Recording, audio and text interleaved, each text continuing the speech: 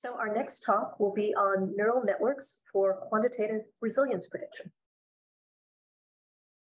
So hi everyone, my name is Karen and I'll be presenting today about neural networks for quantitative resilience prediction. So first of all, we need to understand what resilience is. Resilience is the ability of a system or a process to recover after uh, disruptive events. And any system can fail, as we all know. So it's really important to identify when the system will go back to a high level of performance. And that's when like resilience engineering comes in handy.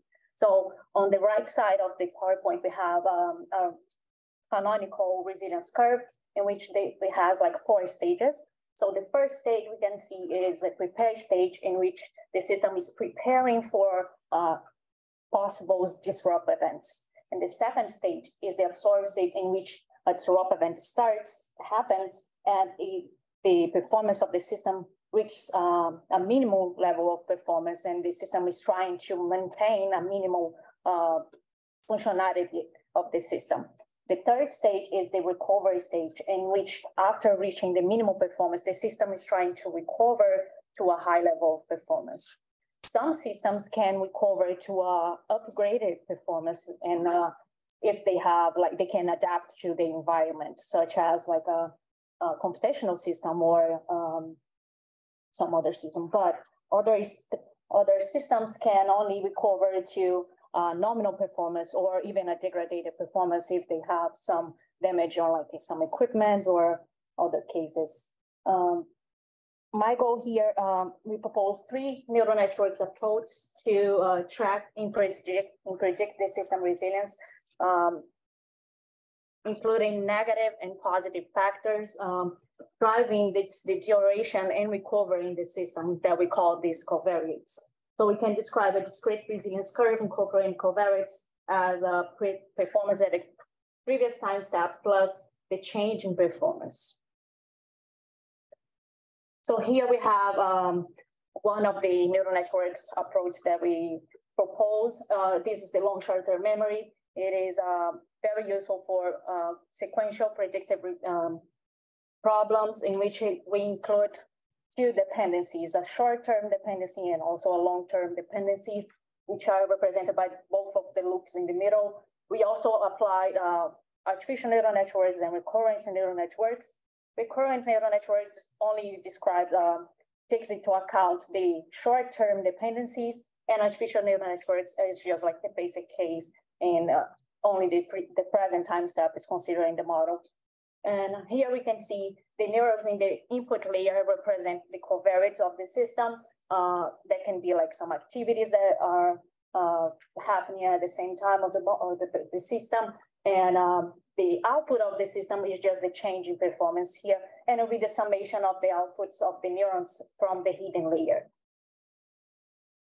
So to um, analyze these models, um, we compute like five metrics uh, for machine learning models, not, normally we split the data in three parts, uh, training for estimation of the parameters of the models, validation to test the model, doing training to estimate, the, to uh, choose the hypothesis of the models, like number of neurons, number of hidden layers, and so on.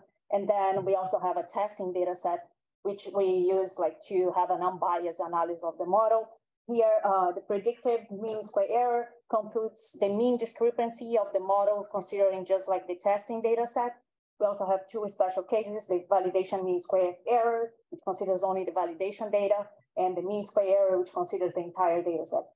Then we also have the mean absolute percentage error, which quantifies like the mean accuracy of these time-dependent problems. We also uh, calculate the uh, adjusted coefficient of determination, uh, R-square adjusted, which just um, measures like the variation of the dependent variable that is explained by independent variables incorporated in the model. To um, identify the best subset of covariates to use in the model, we perform a feature selection technique, which uh, is performed like in two steps. The first step performs a forward selection search to just identify higher correlated out uh, subset of covariates with the output, but uncorrelated with each other. And then we train these um, models with these subsets of covariates. And then uh, we identified the one that achieves the highest R square and the smallest error as well. For illustration purpose, we use the most uh, recent recession that happened in the United States during COVID-19. So we collected 19 covariates showing, uh, representing like the number of cases, uh, number of deaths and so on, and uh, some statistical measures as well. And the performance here is the number of jobs uh, during COVID-19. And the change in performance, which is what I try to predict, is the number of jobs that change it from one month to the other one.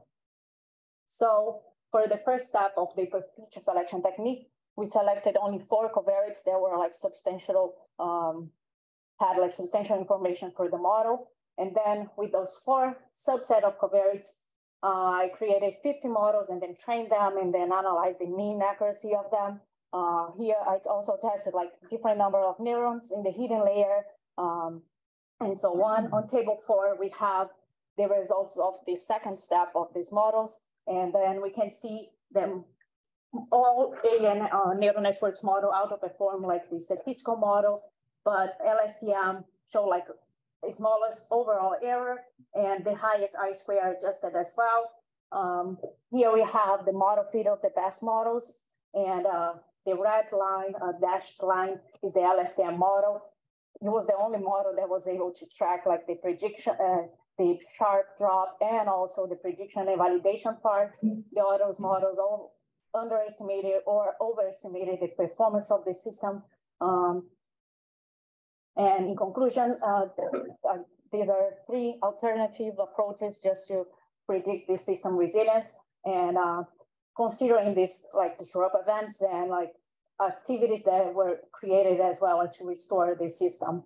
And um, this approach can accurately and effectively track and the system resilience in several domains. And um, we improve uh, from the statistical model like over 60% on the R square and 34 fold reduction in the PMSE as well.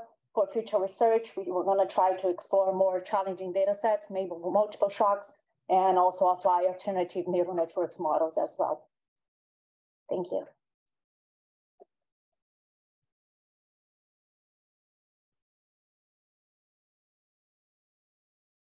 Is there a question for? That question.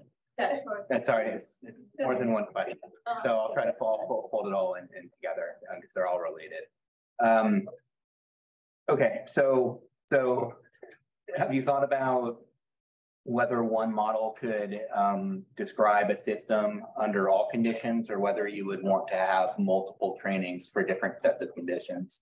Uh, so that it's not abstract, I'll use the example of a vehicle, Okay. Right? I might want one model for dry, hot weather and one model for um wet, cold, stormy weather, right? Or would you want to somehow fold that all into one model? A related question is, have you thought about um um um having multiple response variables and somehow doing a simul, I'll call it a simultaneous fit of of everything to handle multiple responses simultaneously?